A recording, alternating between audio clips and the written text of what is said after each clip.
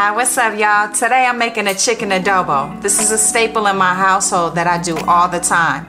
Now, this right here, you could do a paleo style, so you do a uh, coconut aminos, or you just do a regular style and you portion it out so you can get those results in the gym. Let me show you how this is done. All right, y'all, so we're gonna put some onion in this um, chicken adobo that's for the flavoring.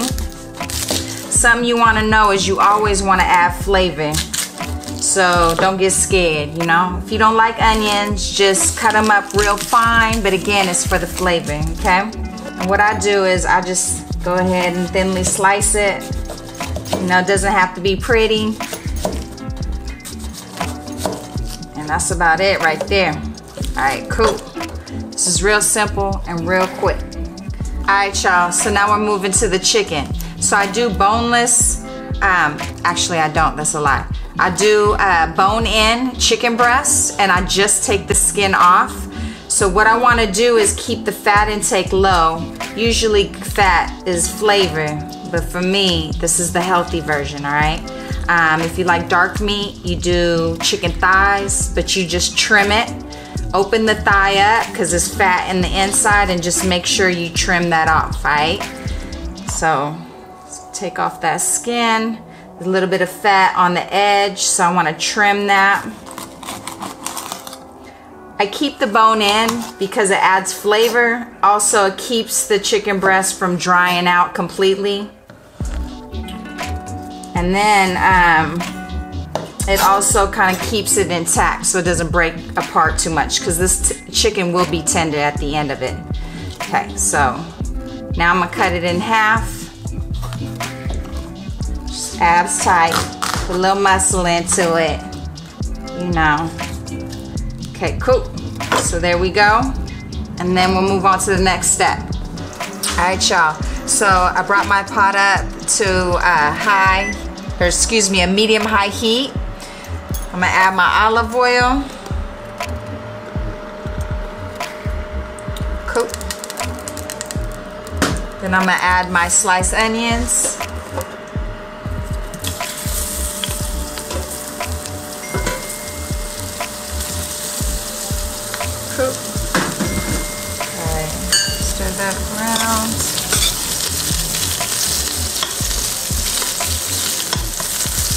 I love the smell of onions, cooked onions.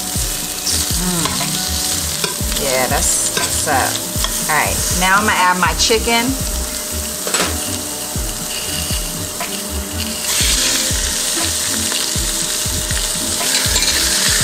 So I'm placing the chicken right on top of the onions.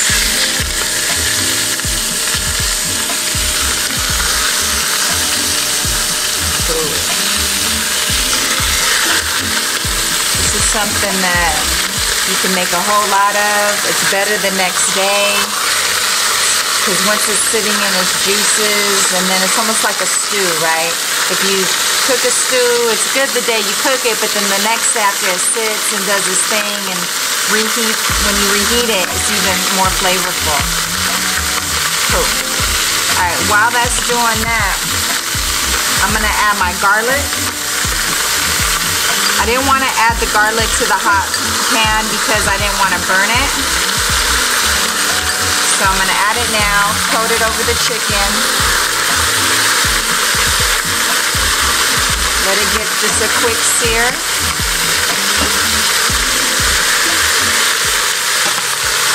Flip it to the other side.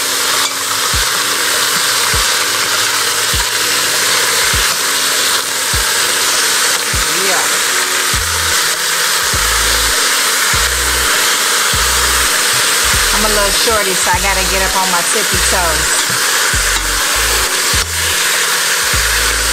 Ooh. Y'all, this gonna be good. Mm, that smell. What I'm talking about. Now I'm gonna add peppercorn. Bay leaf. Bay leaf is a strong flavor two little ones. If you got a big one, just one big one. Recipes down below. Now add my soy sauce.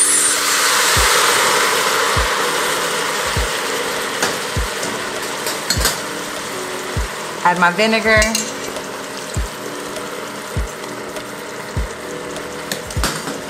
And then my chicken broth. Now you want to check your vinegar. Um, if the vinegar's been in your cabinet for a while, it gets really strong, so you'll want to cut the recipe or just get fresh vinegar from your grocery store. You'll be good. But that's a good little tip because if you're wondering why it tastes very vinegary, it's probably you need some new vinegar. But um, yeah, so then I'm gonna just go ahead and kind of mix that together, coat the chicken, flipping it back over. And then I'm gonna go ahead and turn down the temperature, let it steam, and then it'll be ready. All right, y'all, let's check it out. See where it's at. Yeah, that's ready. So what you wanna do is just let it sit, rest, you know, until, you know, maybe about 20 minutes. Even 10 minutes is cool before you serve it. I'm gonna go ahead and plate this up.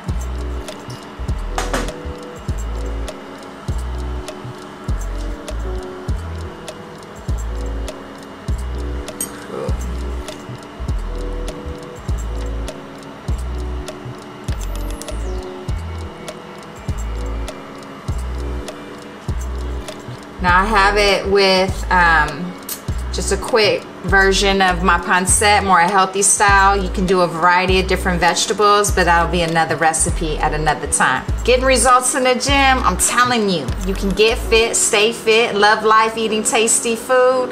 It's real. Subscribe.